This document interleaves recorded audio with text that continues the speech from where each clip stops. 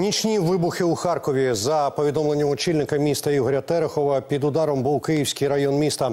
Про ситуацію у Харкові якраз і розпитаємо мера Ігор Терехов власною особою. З нами на зв'язку. Пане Ігорю, вітаю вас. Вітаю вас, вітаю. А, отже, Харків знову під обстрілами, знову без світла. Ворог тим часом продовжує обстрілювати місто. У вас нові графіки відключень. Прошу спочатку розкажіть загалом про ситуацію. Ну, хочу сказати, що дійсно е, е, ворог е, дуже серйозно обстрілює наше місто, е, і ми маємо дуже серйозну руйнацію енергетичної галузі. Е, Сьогодні ми перейшли на графіки, е, коли е, житлові будинки по графікам відключаються е, від енергопостачання, бо е, не е, вистачає напруги. Е, Такі графіки були опубліковані. Сьогодні вони е, трошечки скоректовані е, у бік зменшення е, часу відключення. Е, Перейшли е, з 6, 6 годинного відключення на 4 годинне відключення. Е, Обленерго намагається витримувати е, графіки відключень. Крім цього, хочу сказати, що нам вдалося е, запустити метрополітен, і він працює так.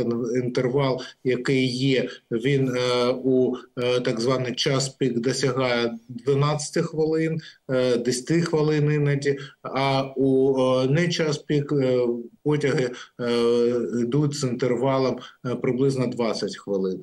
Е, Крім цього, нам вдалося сьогодні е, запустити е, тролейбусні маршрути, які е, почали потрошечку працювати, але не в повному обсязі, на жаль, бо е, не вистачає потужності. А це е, тролейбуси з автономним е, запасом ходу, і вони працюють і довозять з певних мікрорайонів, підкреслю певних мікрорайонів людей до станції метрополітен.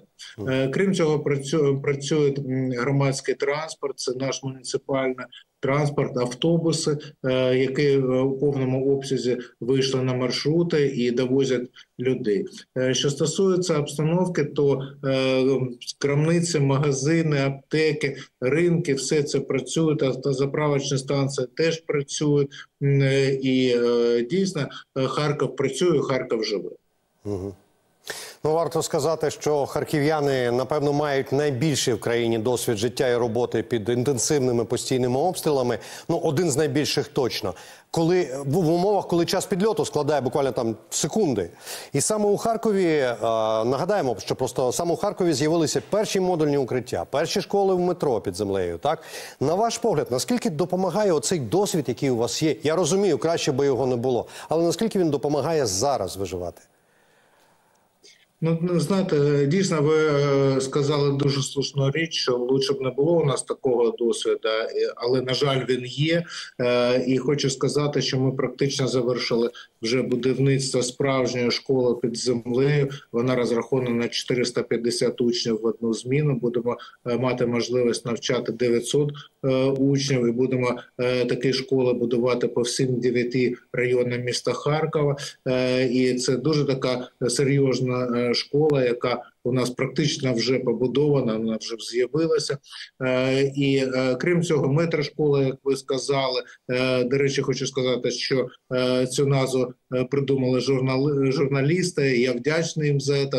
Дуже так всі так ласково називають цю школу метрошкола на п'яти станціях метрополітену. Ще одну станцію будемо обладнувати. Теж це можливо. У нас є така можливість для того, щоб діти навчалися.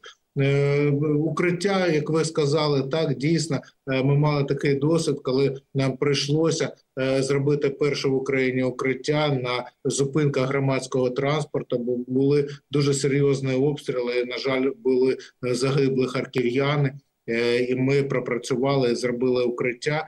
І зараз теж декілька укриттів теж необхідно зробити. Ми це теж будемо робити. Тому такий досвід, на жаль, є. Е, Є досвід того, е, що нас обстрілюють, е, руйнують критично інфраструктуру міста, теплові мережі, водопостачання, енергопостачання. Але незважаючи на все, нас неможливо залякати. Ми були, є і будемо українським містом. І хочу сказати, що ці всі знаєте, ІПСО, е, це, це всі виклики, виклики, які є сьогодні. Ми обов'язково пройдемо, обов'язково переможемо і будемо відбудовувати наше славетне місто. До речі, місто герой Харків. Ну от е, е, я розмовляв в редакції. Це було ще минулого тижня з колегами харків'янами.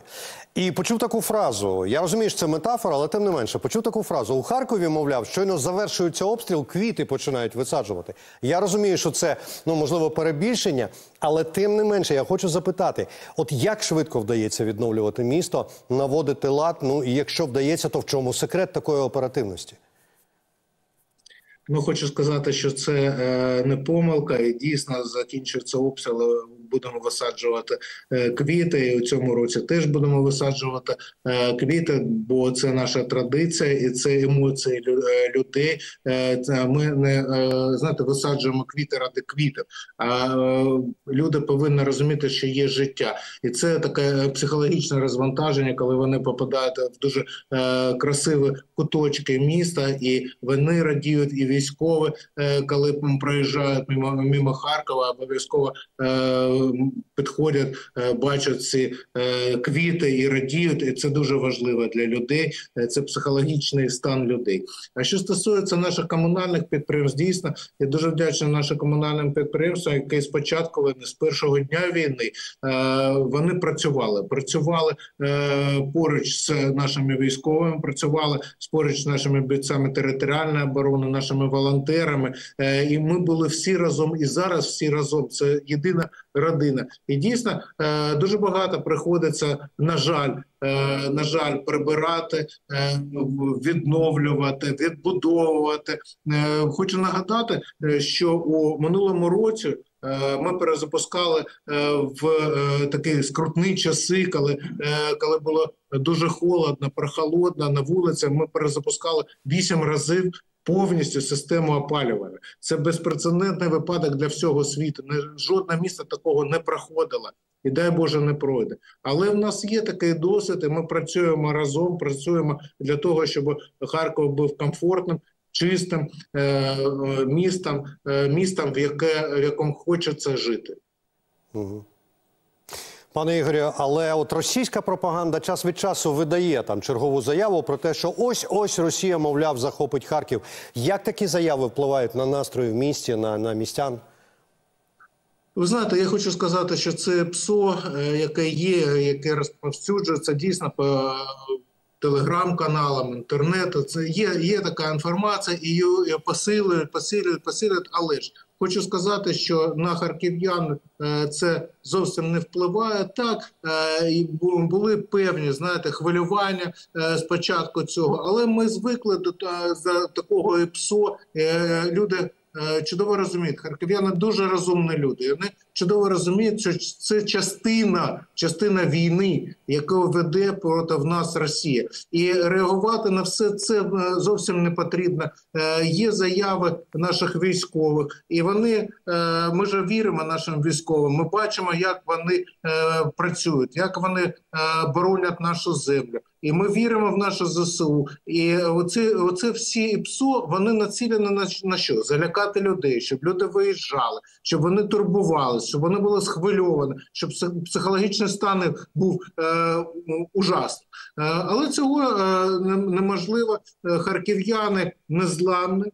І е, ми все це проходили. Проходили в 22-му році. Проходили, коли на е, кільцевої дорозі біля Харкова стояли російські військові і нещадно обстрілювали райони, руйнували житлові будинки. Е, і хочу сказати, що е, так тоді був відток людей, і це було зрозуміло. Але потім було хвилі повернення, чотири хвилі повернення. Сьогодні населення Харкова е, мільйон триста. Мільйон триста мешканців, і ніхто нікуди виїжджати не буде.